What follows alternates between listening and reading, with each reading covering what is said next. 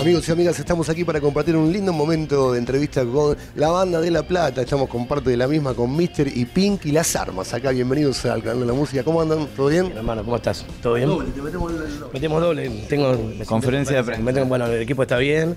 Nada, Bueno, ¿todo tranquilo? ¿Bien? tranquilo. Encantado, muchas gracias por la invitación. Bueno, un placer. La verdad que hacía mucho tiempo que tenía ganas de hacer una entrevista con ustedes y La Plata siempre tiene es una regadera de, de- de- de buena música, de artistas que salen. Ustedes no son la excepción, se venían de, otra banda, pero se juntaron allá por el 2014, ¿no? Arrancó más o menos este proyecto. Exactamente, La Plata tiene una alta densidad demográfica de producción artística. Es verdad. Eh, y también la provincia de Buenos Aires, que está incluida en nuestro nombre, que es Las Armas Buenos Aires. Bien. Esa identidad bonaerense está Sí. presente.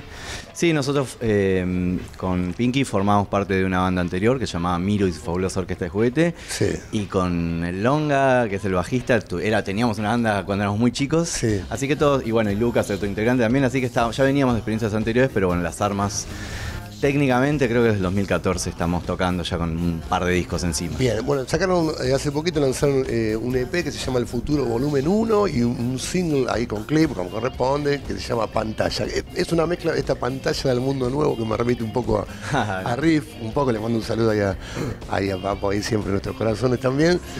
No tiene nada que ver las armas con esto, pero sí hay como una cosa medio eh, del futuro ahí metida, ¿no? Eh, primero, que, primero que en el primer disco, que Sí. se llamaba Volumen 1, no, Sí. el, no el futuro Volumen 1, eh, le tomamos, le robamos un, un riff a- al autor Ah, bien. de pantalla. Sí, Excelente. existe eso, que hay un lineamiento con la música de, de Papo, su- eh, con su música al menos. Sí. Eh, respecto al futuro volumen 1, sí, bueno, después de haber cerrado una suerte de trilogía de discos, eh, entramos un poco en ese, esa incógnita de, de hacia dónde dirigirnos y nos parecía que esto de sacar pequeños materiales también dialogaba un poco con la idea de, de las múltiples posibilidades que implica el futuro. Por eso es el volumen 1. Nos preguntan, ¿pero qué? ¿Va a haber Claro. otro?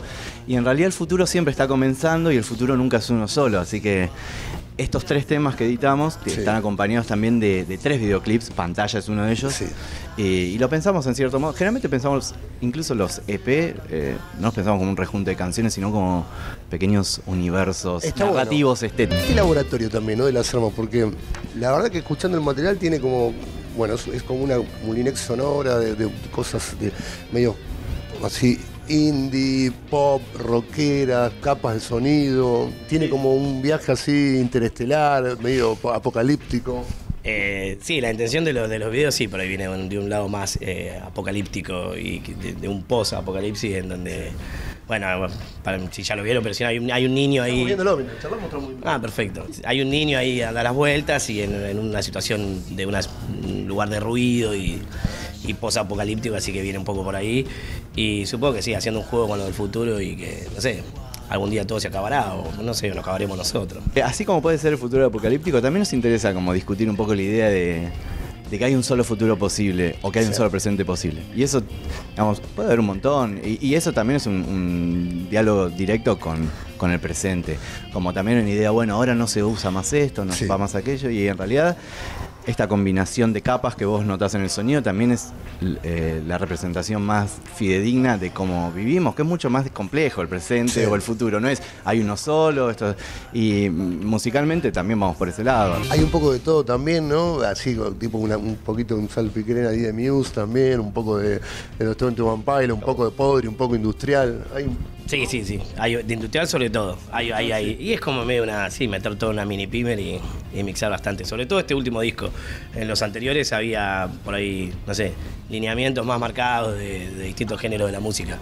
Acá como que todo eso se fue mezclando y. Yo tiré así lo que me vino así, obviamente. No, si me hay- pongo a, para- No, no, hay de sí. a bucear ahí. ver, eh, creo, creo que De cada nombre de cada el banda. denominador, el, el denominador común por ahí de, de la, de la obra, aunque sea una palabra grande, de, de las armas, es que si bien nunca te- temimos como a los géneros, Sí, pero sí a, a que la recurrencia de género se vuelva cliché. O sea, nos parece interesante. Exacto. Nos, nos parece interesante, digamos, creo que es muy complejo. El, primer disco, sobre todo, estaba muy marcado por el blues.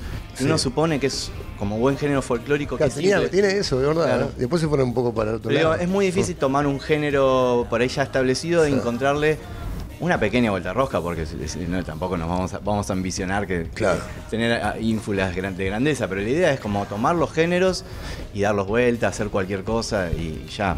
Me los imagino produciendo ustedes también, ¿no? Me estoy más que nada por lo de Pink y todo ahí. no sé, pero hay, hay, hay algo de. Ustedes se meten mucho, por eso se hablaba de esa Mira, soy cocina. un tonto igual, ¿viste? Pero igual para mí vive fumado, no está tonto. Pero amén de eso, No eh, sí, sí, producimos todas nuestras cosas. Se Sí, autoproduce. sí somos Sí, muy ¿Sabes que Sin saberlo, Mirá, me estoy el- tirando ahí a la. el- el Lucas, que no está acá presente, el guitarrista, eh, se encarga. Producimos todos, él es quizás el más cerebro en ese sentido. Sí. Pero bueno, el primer disco, por ejemplo, lo, lo produjo Pedro Pedascarrasbure con una- un amigo de allá, un músico de allá, con una Conectar Igualdad. Antes que el Elegante, le hicimos eso. Mirá, sí. Y el último disco también, los últimos materiales, la coproducción fue con Joaquín Castillo, que es otro músico, bueno, que ahora vive en Brooklyn, un amigo muy querido. Eh, pero sí, siempre muy presente, digamos, no está esa figura de, de una persona exógena que viene y nos indica, no, no tanto por celos, sino porque por- nos gusta, es parte Sí, de- porque aparte lo saben hacer. Disfrutamos está mucho- Bueno, qué sé yo, el proceso. Hay, hay músicos que, que tocan y es dicen, que bueno, disfrutamos no- mucho, digamos, como eh, que, quizás traduciendo toda la charla, hay mucho Sí. de una banda orgánica clásica de garage, Sí. pero también con el disfrute del laboratorio, como dijiste vos. Es que sí, se nota eso. De, de la búsqueda, ya te digo, que cada disco no sea solo canciones, sino que haya un universo narrativo y, y sonoro. Con la, con la capacidad que se tenga, pero no, no solo tirar canciones, sino buscar un, un audio. Y el vivo también, me imagino que ahí hay, hay bastante bien arriba, picante. Sí, sí. Si querés pasármelo, corazón. Eh, no, sí, el, el vivo le damos mucha bola al, al sonido, a lo que, lo que transmitimos, digamos, lo que queremos, lo que se plasma en el disco, tratamos que sea lo más eh, cercano a la hora de tocar en vivo, dentro de las limitaciones que uno tenga desde ya. Pero sí, buscamos que, sí, que no, bajón, despacito no sonamos. No, no, pero viste que a veces el vivo supera un poco a lo que es la- la- la- el, el- el disco. Este muchacho se- acá se hace el serio, pero este se prende fuego, digo. Ah, bien, sí, sí, se lo ve, ahí está como Sí, tranquilo. eso- esto en realidad Es de esos bateristas que mirás cuando tocan. en realidad, es ¿Viste cuando toca una banda y mirás mucho al baterista? Sí. Que es algo. Es, Te gusta, es como así como una suerte de catarsis en vivo. Y es que media psicólogo es como que. sí, Está bueno, la sí, música nos salva también los que estamos con- en esto también hace mucho tocando, bueno, en este momento charlando de la misma. Eh, ¿cómo, ¿Cómo sigue un poco? Bueno, van a estar tocando el 14 de octubre ahí en Stramer, un lugar, un lindo lugar, hay unos amigos de Leo y Luciano Scallion, ahí los, los amigos de Ataque. Eh, ¿Cómo sigue un poco? Porque la verdad que hay gente que también pregunta por usted aquí en Capital, o, hacer un tour por el país. Eh, hace poco, sí, bueno, sí, eh, en la provincia, sobre todo, estuvimos tocando en Quilmes la Sí. última vez. Y mm, vamos a estar tocando el 14 con, con Juan Irio, que es, Sí. si bien es un músico de La Plata, también es una persona que con De Siniestro, que es su banda anterior, y El Estrellero giró bastante. ¿El estrellero se llama? El Estrellero era la banda que tenía El antes. estrellero me gusta, ¿eh? Y El nombre de ya es una banda que ya no, no toca, pero que, Sí. que, que- que supo Son tener. todas bandas de La Plata, ¿no? Eh, en este caso se dio, en este Es caso que no- son- esos nombres son de banda de La Plata, bueno. Bien. Estrelleros, no, de verdad tienen como una hasta son lindos para poner canciones.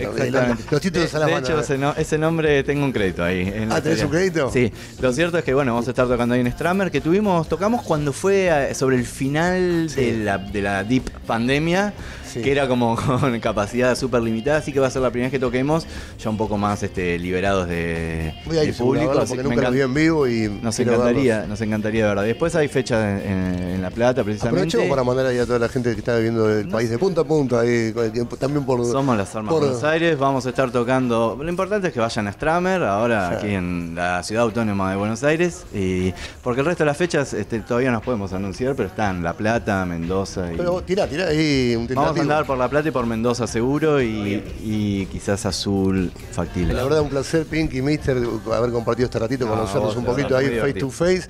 Eh, una banda altamente recomendable, ya pueden ingresar ahí, los que están viendo esta nota, a las plataformas para escuchar Las Armas. Tienen ahí un, el, nuevo, el nuevo EP que se llama El Futuro, volumen 1. ¿Cómo será este futuro? Pero tenemos el volumen 1.